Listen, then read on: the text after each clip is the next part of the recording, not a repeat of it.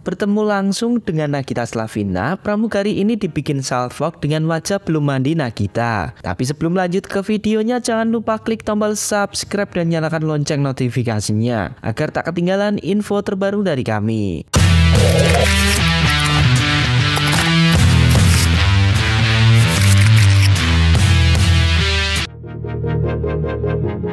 Momen ulang tahun Raffi Ahmad dan Nagita Slavina tahun ini tampaknya begitu meriah hingga sukses menyita perhatian publik.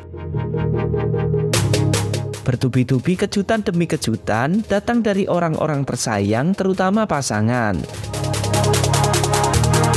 Seperti yang diketahui, Raffi Ahmad diam-diam membawa Nagita Slavina honeymoon ke Pulau Dewata Bali tanpa anak dan asisten.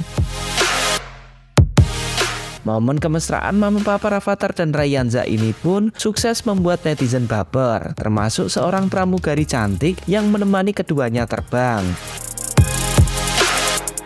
Mengaku sampai nangis terharu karena melihat keromantisan pasangan suami istri ini, pramugari yang diketahui bernama Sela itu pun dibuat salvok dengan kecantikan Nagita Slavina.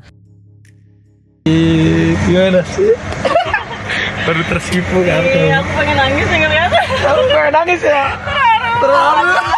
Aku udah nangis sih kemarin. Kenapa sih? Maaf. Kasihan. Oh, banyak bunga loh tuh. Bunga disiapin. Bunga. Mau kerja.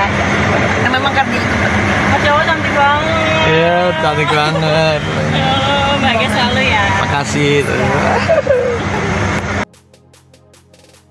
Padahal dalam kesempatan tersebut Nagita Slavina mengaku belum mandi dan tentunya tak memakai make up selain lipstick. Seneng gak sih, Seng? Coba sekarang udah mau cium dulu gak sih sekarang? Iya masih. Oke deh. Belum mandi loh.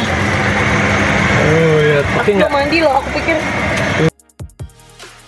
Hal ini dilansir di netizen dari unggahan kanal YouTube Rans Entertainment baru-baru ini.